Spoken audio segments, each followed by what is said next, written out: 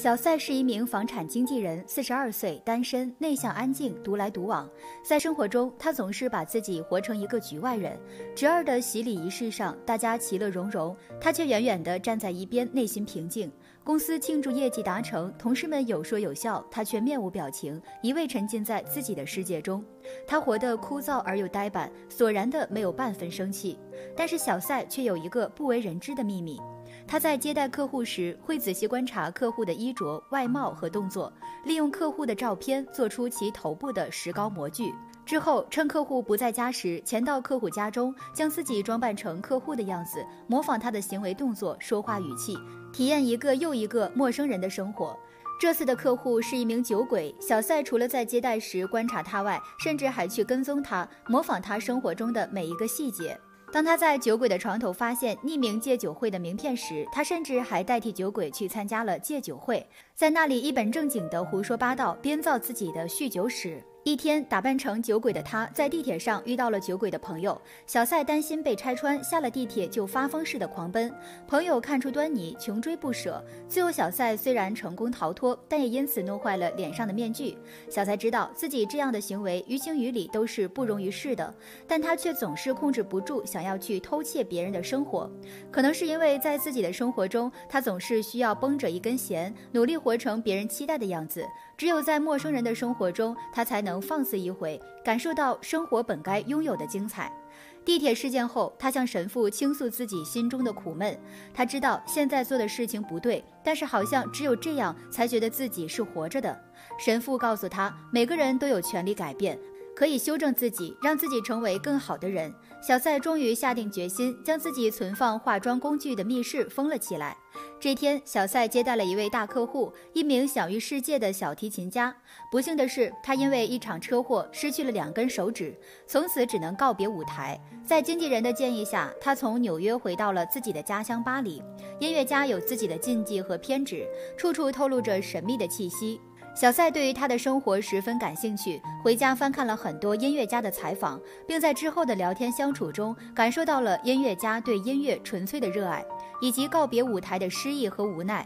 就像大多数艺术家一样，敏感的音乐家总能够轻易洞察人心，但是他却说他看不出小赛的心思。小赛总是面无表情，安静沉闷，就像一只猫，能够无声无息地靠近你，窥视你，刺探你。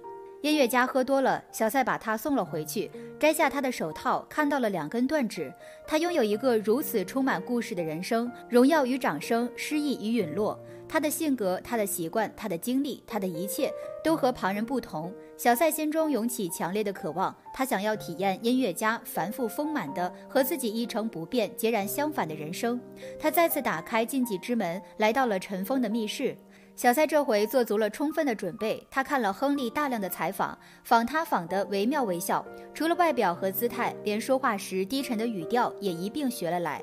某天，他趁着音乐家外出，偷偷潜入他的家中，逗着音乐家的金毛狗，照着音乐家的食谱做饭，冒充音乐家打电话到公司表扬自己。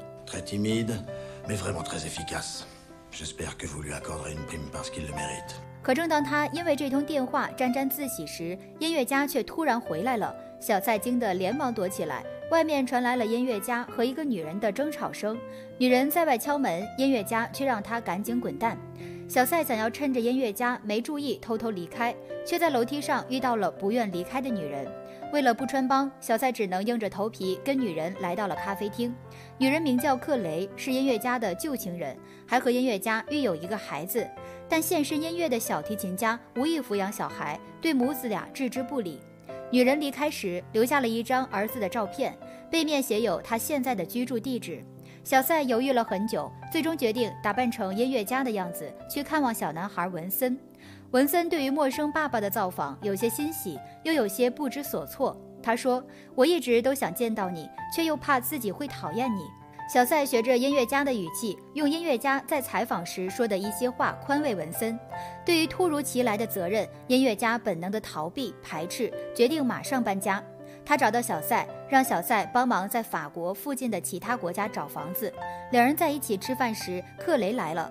他听说音乐家要搬走，对他十分的失望，但还是希望能为儿子争取到一些父爱。无奈却被音乐家无情地赶了出去。小赛见状追上了克雷，代替音乐家说了抱歉。之后，小赛做出一个大胆的决定，他故意将亨利另一处的房子砸得稀巴烂，把他支去那边办理保险。接着，他打电话将文森约到家中共进晚餐。克雷对于他主动跨出这一步非常的欣慰和感动。周末，小赛拖着箱子来到亨利家中，就在他忙着准备做晚饭时，却看见亨利随时带在身边的金毛还在家中。难道是亨利还没走吗？小赛跟着金毛来到客厅，发现了上吊自杀的亨利。惊慌的小赛正准备离开时，克雷却在这时按响了门铃。小赛只能赶忙藏起尸体，在母子进门前处理好了现场。文森给爸爸带来了百合花，还在桌上发现了音乐家留给他的遗书。小赛糊弄了过去，说这封信是准备以后给文森的，文森却要他现在就读。遗书中，音乐家充满了歉意和忏悔，他知道自己自私且懦弱，没有为儿子做过任何事，他也不知道如何去爱别人。他的心中只有音乐，对于他来说，没有音乐的人生不是生活，只是活着罢了。再也无法演奏小提琴的他，被寂静吞噬，无处可逃。所以，他将自己最珍贵的朋友小提琴送给了同样在学琴的文森，并希望音乐可以保护文森，给文森以永恒。读完信后，文森上前抱住了小赛，之后却又怯生生地撤回去，说了声对不起。他也同样的不知道该如何与父亲亲昵。这一晚，两父子度过了一段愉快的时光。文森幸福的笑容让小赛做出了一个出人意料的决定。他腾出箱子，把音乐家的尸体搬运到自己家中，给公司打电话，留下道别遗言，而后点燃煤气，悄然离开，成功导演了一场自杀。回到音乐家房子的小赛，从此便真正顶替了音乐家的人生。为了更好隐藏，他自己动手切掉了两根手指头，穿上音乐家的衣服，出门遛狗，练习抽烟，模仿音乐家的签名笔记，学习音乐家瘸腿走路，了解小提琴的知识，甚至还以一个朋友的身份参加了自己的葬礼，与妈妈和姐姐打了招呼。之后，他带着文森去郊外过周末，在山上奔跑，在海边散步。还在停车场给文森举办了小型音乐会，文森玩得十分开心，在回家的时候意犹未尽。另一边，警察在调查煤气爆炸案时，发现小赛自杀那天曾给音乐家打过一通电话，那通电话原本是他为了测试音乐家是否在家打的，没想到却变成了计划中的一个破绽。警察找到小赛，调查这通电话的内容。小赛用炉火纯青的演技应付了过去，但却也知道自己是经不起查的。如果被带进监狱问讯，自己的人皮面具随时可能会暴露。于是，小赛去银行取出了所有的存款，签署多份将房产及物资赠与文森的文件之后，便逃走了。但他却并不是远走高飞，而是去做了整形手术，把自己的脸整成了音乐家的样子，还将头发和胡子也蓄成了音乐家的模样。文森的演奏会上高朋满座，警察也在这里守株待兔。他们猜想音乐家不会错过儿子的演唱会。小赛的确来了，毫无遮掩，大大方方地出现在众人面前。